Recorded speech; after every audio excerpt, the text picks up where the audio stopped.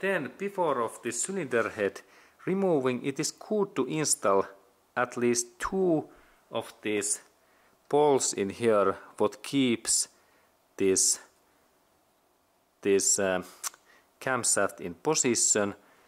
And, uh, and we can actually install this in here in that line in that area and then one in here. And now I little bit I rotate this. And this keeps this there's first bolt and here second. And this is only that it's secure that when we open this cylinder head bolts next that that uh, there is risk that these parts can drop to ground okay and next part is that when we take this cylinder head away we need now 14 millimeter 12 corner socket what fits these cylinder head bolts in here. And note also that we need a little bit longer socket and then maybe a little bit extension.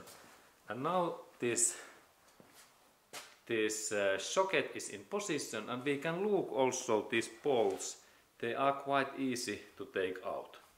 Okay, and these bolts are really in here.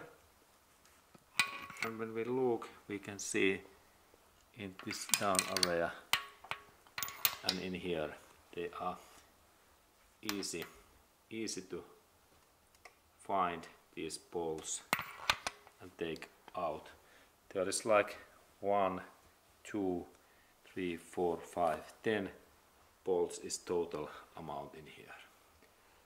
Okay cool. And then I start this opening in this central line and then I take all 10 bolts away. Okay, and this bolt opening, this bolt opens anti-clockwise in that way. They are easy, easy to open when we have little bit bigger tools. This bolt looks like to be a little bit tighter and that one. And now we can use also this electric impact driver and let's look at how this device opens these bolts. Okay, and now I noticed that this bolts is easier to open with this basic long long bar.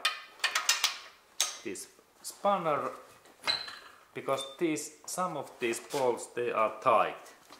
And I have to work a little bit. Okay and like this side bolt in here this looks like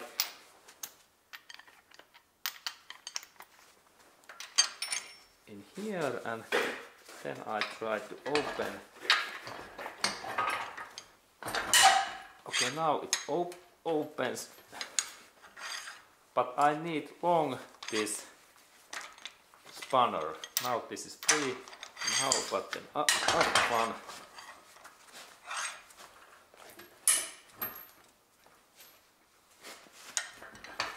Okay, now this opens.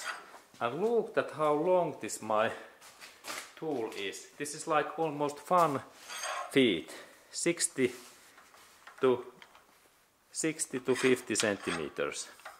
Okay, and then this bolts opens. And now I open all of those bolts. Okay, and now when I have loosened all of these bolts, I can now use this my impact driver and then longer pliers and we can see that there is the cylinder head bolt and washer a look at how long this bolt is. And we can reuse these bolts, but of course I recommend that we purchase new bolts from Honda dealership. And new bolts is better than reuse. And then I take all of these bolts away. Okay, and now I use my electric driver. This is loosened. That one also. And then that one. And I already loosened this bolt and that's these are so easy to take out. Okay, cool. Then, I use my longer pliers that I lift I lift these bolts away. There's that one and then that one and here is here is that one and when I have take all of this away we can go to next step.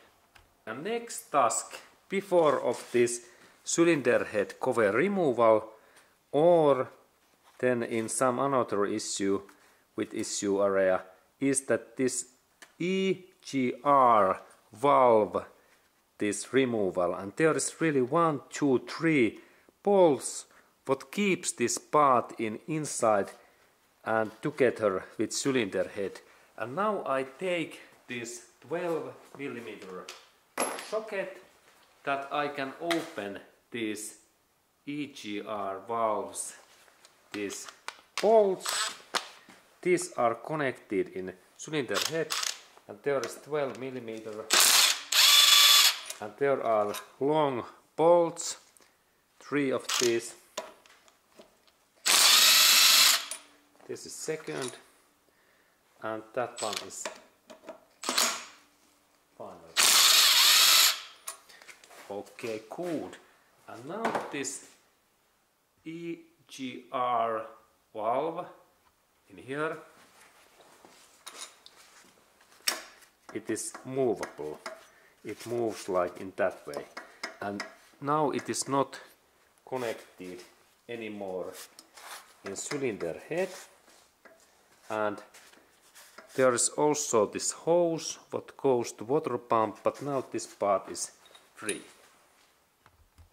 Here is really, and there was really left this one coolant hose and if I have this pliers I can take this clamp away in that way and then this part, this hose I take my next pliers. Then when I have small pliers I can compress this hose and rotate in that way. And after that this hose is easier to remove. But this is in that way carefully. Okay now now it opens and now I can try to lift out this again and now cylinder head opens nicely.